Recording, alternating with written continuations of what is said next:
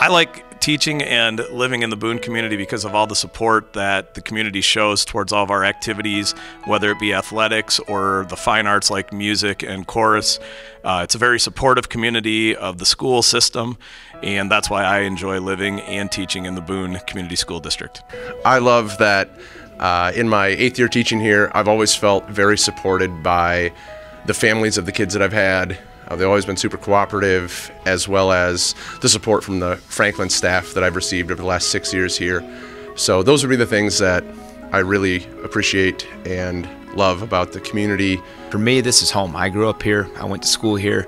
Um, even when I went to college, I knew someday that I wanted to come back here. Um, I had a great experience uh, myself as a student, and uh, being a part of the community as a student and now being a part of it as a uh, teacher and a coach and as a parent raising our kids in the community. Boone has always been a special place to me and I want to be a part of making it great.